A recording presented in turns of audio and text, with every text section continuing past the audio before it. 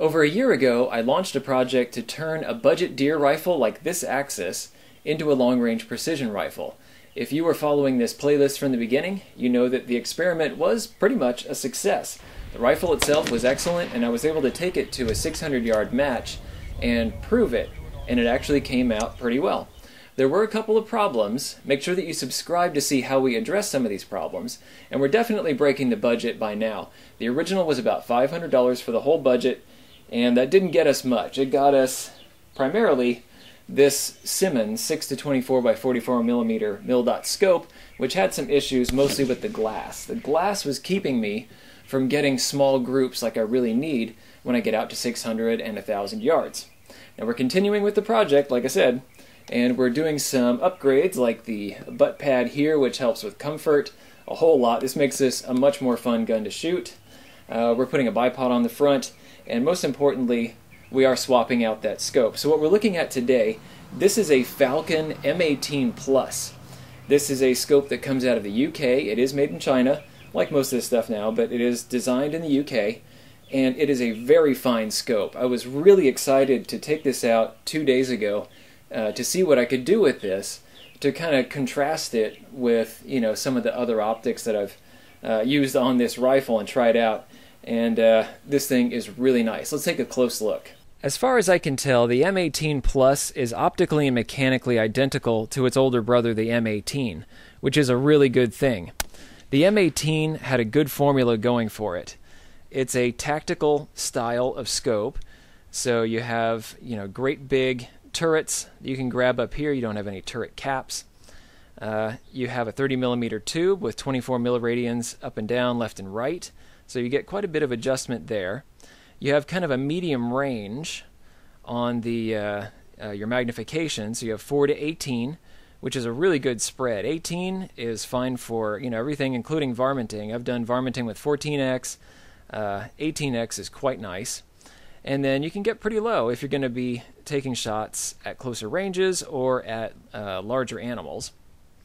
You have side focus, which I much prefer over adjustable objectives. Adjustable objectives are a real pain in the neck when you're trying to roll focus on an object that is might possibly be popping back down into its hole like a prairie dog. Um, it's a real pain to get out here and try to adjust this. So it's really nice to have everything right up here. Both the elevation and windage turrets adjust 0.1 milliradians per click and 10 milliradians all the way around. So you get quite a bit of adjustment and you have a decently fine adjustment on both of these. Some of the goodies that come with the scope include a pair of stackable sunshades. Uh, I use both of these since a lot of the time I am taking shots pretty much directly into the sun, uh, or at least the sun is very low on the horizon. I want as little glare as possible. Uh, you also get these upgraded flip caps. These are quite a bit better than the ones that came on the M18. These just feel more solid and they seal up very tightly. So you get one on the back and one on the front. And while we're talking about upgrades, let's take a look at this new elevation uh, turret knob.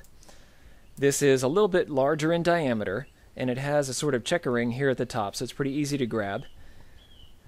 It just makes it a little bit more precise when you're making these turns. Instead of having to look at the uh, the small graduations on the other model, uh, this one makes everything a little bit bigger. It's a little bit easier to use.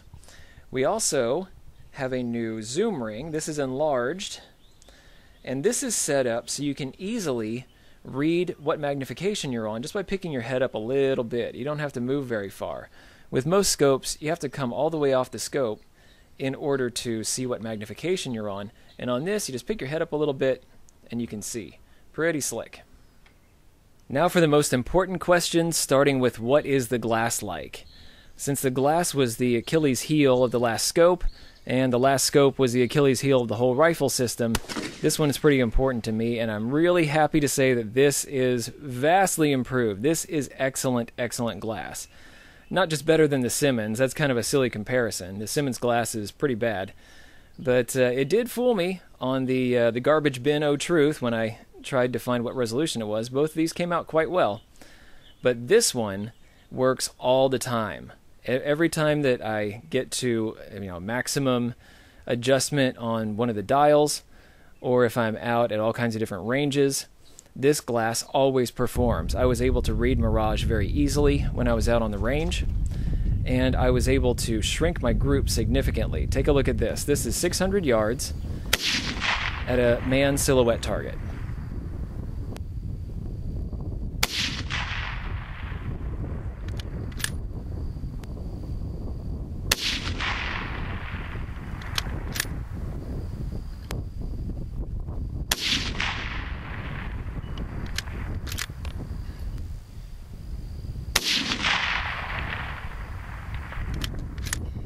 Here's the big white dot that I was aiming at at 600 yards.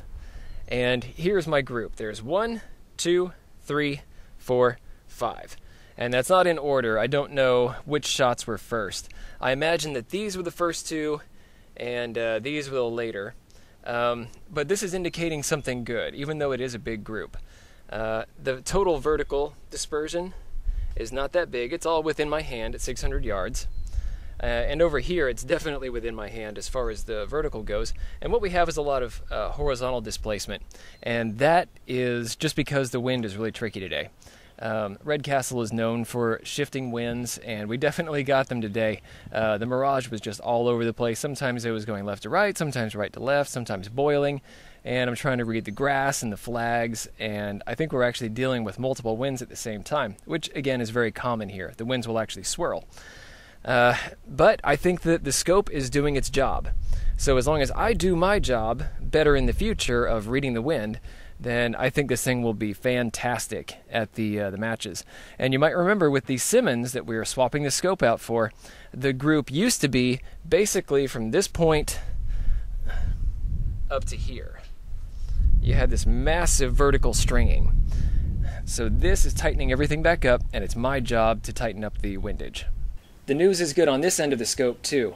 You don't have to hunt and peck trying to find the image. There's a really forgiving eye relief. You can be a little closer, you can be a little bit further, and it's just really easy to get on this thing. The other big question that we need to ask is whether it is mechanically precise, and I'm referring both to the turrets and to the reticle itself. And I tested both of these in the field shooting some silhouette animals, and both of these worked just great. It was really easy to get on targets anywhere from 200 meters out to 600 yards, which is where the uh, the humanoid silhouette was. We had rams at 550, we had turkeys at 400, and pigs at 300 meters. And everything was very precise on this thing. Uh, the, the turrets worked great, everything came back to zero and the reticle, which is a B20. This is a Brabant 20. Uh, it's a very nice, fine reticle. Um, I think that this one strikes a really good balance between having the fineness that you want for varminting, uh, and it, it's not so fine that you're going to lose it when you're trying to hunt other animals. And this one, the M18 Plus, has the option of second focal plane or SFP, or first focal plane FFP. This model is the SFP one. They wanted me to try this out. This one costs a little bit less. This is $320. And the uh, the first focal plane, like this uh, older M18 here, this is running for about 350 and both of those prices are excellent. I'll keep my notes brief on the SFP versus FFP issue, but I think there's a lot of misinformation out there. A lot of people assume that a second focal plane reticle is inferior to one that places the reticle in the first focal plane. And I really think that nothing could be further from the truth. I perceive both of these as totally unique animals, and each one is going to be better at a certain thing. I'm going to get into this on another video, uh, so wait for that. But suffice it to say, for what I'm doing here, target shooting, or varminting, something like that, this is actually going to be my preferred reticle, a second focal plane. And this B20 that we're using is a really good match for that. I was able to test this out and you can really stretch out the shots. And in a lot of cases, you can make very precise changes based on wind input. Or if your elevation's a little bit off, it's easy to make slight changes. Before I get too excited about this scope, and I really am excited to be able to shoot this thing in the upcoming matches, I think this is going to perform extremely well. Uh, I have a 600 yard match coming up and a 1,000 yard match. Those are going to be back to back Saturdays, and we definitely will be covering those. So, for those of you that have been waiting for the uh, this past year in order to see how it does at 1,000 yards, we're finally going to be vindicated. Uh, but it does have a couple of downsides, so I'll discuss those. First off, there is some color fringing that you're going to get uh, looking through this, especially at contrasting objects. Like, say, you have a bright sky behind a darker object, uh, silhouetted things. You're going to get some color banding or uh, chromatic distortion, specifically color distortion. So you're going to get a little bit of that blue and yellow fringes on the edges of things. And it's really not a showstopper. Uh, it is a little bit weird, but the resolution is still there. Uh, resolution is fine. So it's it's really easy to you know read Mirage and see all these little details even in low light, which is one of the things that uh, I discussed about the M18 before. Low light capabilities are actually quite nice. Uh, I was out at dusk with some of these, and you can still see all kinds of details. Very nice scope in lower light, despite the fact that it's only a 44 millimeter objective. Uh, would I say that this is, you know, a dusk deer gun? Probably not, but uh, it definitely does better than most in its category. But the other issue is the windage turret right here. Uh, this one, it was a little bit mushy. Spinning one direction, it was usually clicking quite nicely, and then if I spun the other direction, it might be quiet, um, or I couldn't really feel it that well. And it might be that this is a break-in issue. Uh, I'll keep you posted over time to see if this improves. But this is one where I had to look over and check it every so often uh, to make sure that I was in the right spot because I couldn't really feel it and couldn't really hear it. Uh, usually, if I spun, you know, more than one click, then it got a little louder after that. But it was usually that first click that was a little bit spongy. And here's an item to note for you AR shooters that oversized zoom ring might interfere if you have any of those uh, fold flat sights that lie under your ocular bell. Uh, in my case, I don't think this scope would work on my AR since I have a, uh, a GG&G multi-aperture device folded underneath. I don't think this would fit. It might, but uh, you might want to check on that if you are planning to run this over your backup iron sights. So what's the final takeaway? What is this scope? Is it a budget scope? I would say yes, since the price tag is about $320 for this one, and it's about 350 right now for the FFP model, and that just has to do with the American and British exchange rate. But these are so much more than what their price tag implies. For about the same price as like a Leupold VX2, you can get something that really has excellent glass and it has great turrets in a 30 millimeter tube. Uh, I've never had the turrets mess up on either of these. I've been using this one for a good long while now. I've been testing this one for, what, about a year and a half, and it is fantastic. It always comes back to zero. Uh, anytime I turn the dials, I'm not worried about it missing anything, you know, messing anything up between shots. It just plain works. And now the competition that we're going to be looking at, there really isn't much right now all the big companies like Bushnell and Leupold and Nikon, everybody's going to these bullet drop compensating reticles, which, this is just my personal opinion, I don't like. If I want to take precision shots out at all kinds of different ranges, like if I'm out doing my prairie dog shooting, I don't want a bullet drop compensator. I don't want to have a rough guess of where my bullets are going to go. First, I want a reticle that I can actually use to estimate the range to the target and then I want one that I can very precisely lay down my fire right on that small target.